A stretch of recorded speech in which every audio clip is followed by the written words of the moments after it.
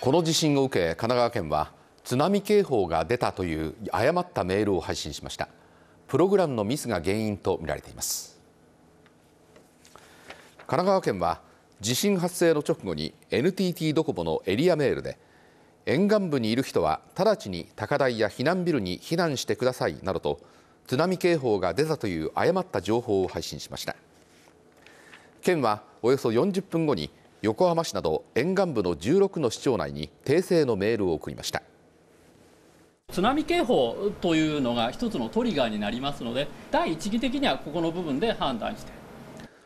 誤ったメールを配信したのは気象庁の情報を受け避難情報をメールで県内に自動配信するシステムで15日に運用を開始したばかりでした。